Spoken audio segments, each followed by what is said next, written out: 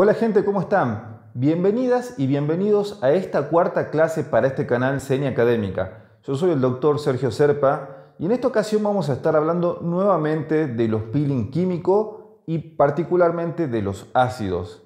Les voy a estar presentando dos tipos de ácidos. En este caso vamos a continuar hablando de lo que son los alfa hidroxiácidos. En una clase anterior hemos visto lo que es el ácido glicólico y en esta les voy a estar presentando el ácido mandélico y por otro lado ya vamos a comenzar a hablar de otro tipo de ácido, en este caso conocido como beta hidroxiácidos y vamos a estar hablando también de uno muy pero muy conocido que es el ácido salicílico. Los invito a que se queden hasta el final de esta clase para poder entender este tema. Vamos a comenzar hablando entonces primero del ácido mandélico. El ácido mandélico pertenece a la familia de los alfa hidroxiácidos, así como el glicólico de la clase anterior.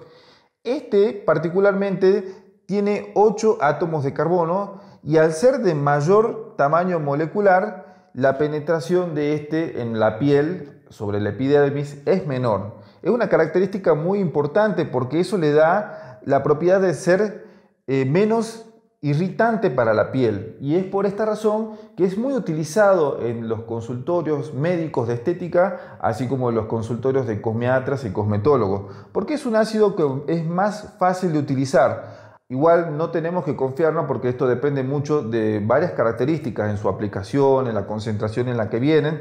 Al igual que el anterior, también vienen distintas concentraciones y eso nos va a dar distintas potencias en este ácido cuando nosotros vayamos a utilizarlo en la piel. Entonces, al ser de menor irritación, también produce menos fotosensibilidad en la piel. Podemos decir entonces que vamos a tener menos problema en cuanto al sol, cuando le aplicamos a nuestros pacientes. De igual manera también se recomienda utilizar en los meses de otoño y de invierno. En cuanto a su aplicación, vamos a ver entonces un poco de qué patologías se recomienda esto. Yo particularmente utilizo mucho el ácido mandélico en el tratamiento de algunas manchas, como ser el melasma, en cuanto también eh, fotoenvejecimiento, cuando tenemos esos pequeños léntigos solares, también solemos utilizar el ácido mandélico. En algunos casos de pacientes con acné, no necesariamente activo o para la prevención, porque hay algunos pacientes que tienen tendencia a acné, es muy interesante utilizar esto porque también tiene una acción eh, bactericida. ¿sí? Entonces, lo utilizamos en pieles acnéicas, en pieles con tendencia en acné, en manchas, en fotoenvejecimiento, o sea, en aquellas personas con edad avanzada que quieren una recuperación de la piel o simplemente como la limpieza facial en los meses de invierno, cuando buscamos recuperar las características de la piel, este ácido nos viene muy bien. Viene generalmente en soluciones, así como el ácido glicólico que, los, que les he mostrado anteriormente, que nosotros eh, por lo general lo aplicamos mediante pequeños hisopos en la piel, en su forma de solución, y se espera algunos segundos.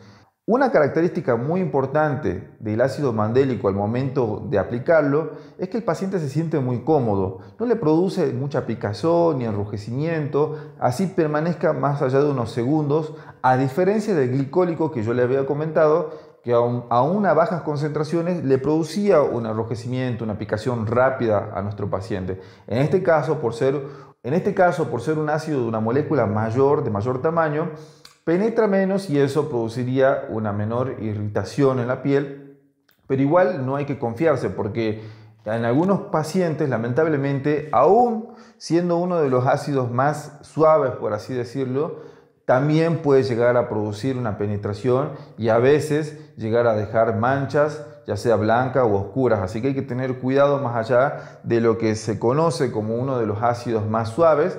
Hacemos sesiones semanales, pueden ser entre 8 a 10 sesiones, donde previa a una limpieza facial le hacemos la aplicación de, este ácido con la piel completamente seca y limpia. Topicamos con hisopos ¿sí? Durante, en todo el rostro, sobre todo haciendo alguna algún paso o repaso sobre las manchas para que tenga una mayor acción. Y eso eh, va a producir muy pero muy pequeñas molestias, apenas un picazón leve y casi no hay enrojecimientos. Y este posteriormente es neutralizado con agua una vez que está unos pocos segundos. Acá quiero hacer una, aclaración muy importante en, este, en estas clases teóricas que estamos teniendo que este, son como tales clases teóricas y todavía no hay unas clases donde les está haciendo las demostraciones que son muy importantes al momento de practicar esta técnica. Así que por lo tanto, no les recomiendo que se guíen solamente de estas clases para ir a, hacer un tratamiento con algún paciente utilizando algún tipo de ácido. Es importante realmente que tengan la clase práctica, que puede ser que las tengamos más adelante, o de guía para aquellos que ya lo están utilizando, ya tienen la experiencia, pero no así a personas que recién estén comenzando, que no tengan experiencia. Por favor, tengan mucho cuidado al momento de utilizarlo. No les recomiendo que solamente con estas clases vayan a experimentar con la gente tómenlo como una referencia y como una clase previa a la clase práctica, pero por favor tengan ese cuidado tanto con estos ácidos como los anteriores o como otros tratamientos que les vaya a enseñar más adelante, tómenlo como clases teóricas, pero bueno, necesitamos otra preparación para poder abordar estas patologías en nuestros pacientes. Vamos a hacer un pequeño resumen entonces de lo que es el ácido mandélico. Es eh, un ácido que pertenece a la familia de los alfa-hidroxiácidos, un ácido frutal obtenido también de la fruta como el glicólico. Es de una molécula un poco mayor en cuanto a tamaño y penetra menos en la piel y eso produce menos irritación. Es muy utilizado, muy popular en los peeling, en los peeling de invierno, en los consultorios de médicos y de cosmiatras, cosmetólogos y esteticistas y es muy útil al momento de tratamiento de algunas manchas eh, pacientes también que tienen mucha fotosensibilidad o, son, o tienen pieles muy sensibles, este ácido anda bastante bien porque es como, podemos resumirlo como un ácido más suave al momento de trabajar con él y eh, produce menos irritación, menos fotosensibilidad, es una aplicación más sencilla que otros ácidos eh, y sobre todo que tenemos un paciente que se va con poca irritación, que es lo que más interesa que por supuesto como tal, eh, a menos que utilicemos concentraciones más fuertes, a veces eh, vamos a necesitarlo de esa manera, con más, que, más experiencia. Se suele utilizar entre un 5 a 10% en la cosmetología y cosmetría en cuanto a su concentración.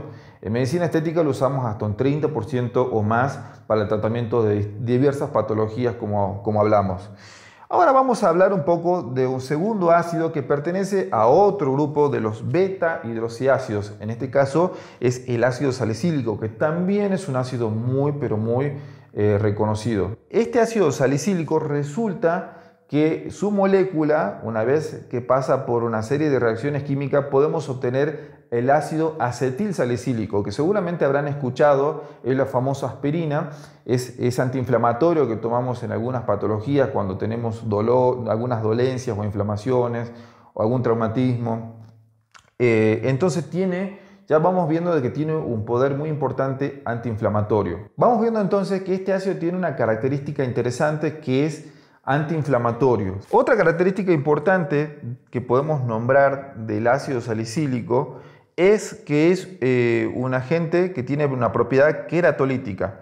¿Qué quiere decir eso? Que anda bien en aquellas patologías donde la epidermis está engrosada, o sea, la capa que tiene, en este caso la capa córnea, y que les recomendaría a aquellos que no han visto la clase de piel, vayan a ver la segunda clase para que puedan entender un poquito más Sabemos que en la epidermis hay distintas capas muy finitas, porque la epidermis es muy finita, y hay como cinco capas, a veces cuatro en la mayoría de las veces, y hay una que la, la, última que se descama, que es la capa córnea, la capa que tiene gran cantidad de queratina. Algunas patologías se caracterizan por tener esa capa córnea engrosada o hiperkeratosis, también tenemos la dermatitis seborreica, la ictiosis, fue utilizada en muchas de estas patologías, hasta en la psoriasis por su propiedad queratolítica. También se conoce además que tiene una propiedad fungicida, o sea, capaz de eliminar hongos, o bactericida, capaz de matar bacterias. Bien. Entonces vamos a repasar acá que tiene una característica muy interesante que es la de antiinflamatorio, por lo que estábamos asociando el tipo de molécula con eh, del ácido salicílico con el ácido acetil salicílico, que es la aspirina. Entonces, gracias a esta propiedad antiinflamatoria lo utilizamos muchísimo en acné activo, en pacientes que tienen aquel acné que todavía no se ha resuelto, en pacientes adolescentes que tienen los puntitos blancos, utilizamos este ácido salicílico eh, porque nos anda muy bien en ese caso por su poder antiinflamatorio y bactericida. Otra característica muy interesante es que el ácido salicílico en la unidad pilo sebácea. Es ese órgano donde nace el pelo y donde está anexa las glándulas sebáceas. Este ácido salicílico puede penetrar ahí y producir una descamación efectiva, así que también lo convierte en un queratolítico y en un comedolítico puede actuar sobre el comedón, puede actuar en forma positiva sobre un comedón y afinando la piel para que el paciente tenga menos tendencia al acné. Yo en lo particular, en mi experiencia, lo utilizo muchísimo en esos pacientes que me vienen eh, todos brotados con el acné, con esos puntitos blancos. Por supuesto que es un tratamiento complementario porque son pacientes complejos, pero el ácido salicílico es uno de los instrumentos más importantes, por lo menos en lo que es el consultorio, para eh, combatir el acné en, algunas pieles. Una característica muy importante que es eh, muy utilizado en pieles grasas, que son generalmente estos pacientes que también suelen tener tendencia a acné por sus características. Eh, bueno, hablábamos de que es una molécula que es lipofílica, o sea que eh, no tiene, está más asociada a los que son los ácidos eh, grasos que al agua, tiene más afinidad por ese tipo de moléculas. Les voy a explicar un poquito cómo es que lo utilizamos en el consultorio. También viene en forma de solución en distintas concentraciones, al igual que todos los otros ácidos. La tenemos de 5%, de 10, de 30, de 50. Resulta que es un ácido cuando lo aplicamos bastante irritante para la piel. Cuando en este caso después de haber hecho una limpieza facial suave, porque como les digo es un ácido que irrita bastante, eh, hacemos el paso en forma de un tópico con, alguna, puede ser con, con, un hisopo también, y resulta que a los pocos segundos empieza a arderle mucho al paciente este tipo de ácido, así sea bajas concentraciones casi siempre es igual, a tal punto que una de las pocas cosas que puede darle alguna atenuarle un poco esta irritación al paciente en el momento o aliviarlo un poco es hacerle un poco de, aire, abanicarle un poco al paciente porque ese aire resulta que disminuye un poco esa irritación y después de ponerse roja a veces el rostro se pone, se hace como una pequeña escarcha blanca, se cristaliza en la piel y pues, pues, en este caso no necesitamos hacer una, neutralizarlo de otra manera. El ácido a cierto punto solo se neutraliza eh, y bien, produce una irritación bastante importante. Al minuto suele ceder y el paciente ya empieza a sentirse cómodo pero en algunos pacientes con pieles sensibles y que no se recomienda puede mantenerse esta irritación y puede ser un ácido que eh, irrita a nuestro paciente que hay que tener mucho cuidado. También es fotosensibilizante, hay que tener mucho cuidado con fototipos de, de, pieles más oscuras. Y por supuesto que este también debe ser utilizado con mucha experiencia. ¿sí? Como les dije, son clases teóricas, tienen que ver las clases prácticas para poder eh, comenzar a, utilizar este tipo de ácidos si no tienen ninguna experiencia. Así que bueno, la verdad que es un ácido muy útil, muy útil en el acné. En manchas es parcialmente útil, también sirve. Yo lo utilizo en pieles grasas, eh, pieles con acné, pieles con secuelas o cicatrices de acné también. En algunos casos eh, anda muy bien en manchas cuando otros ácidos no son las opciones, se puede probar con este también. Eh, como un tratamiento en pacientes con pieles envejecidas para mejorar, para producir mayor colágeno, también es muy útil en aquellos pacientes de 60, 65 años cuando queremos usar concentraciones más fuertes, por supuesto que van a, tener un lindo resultado.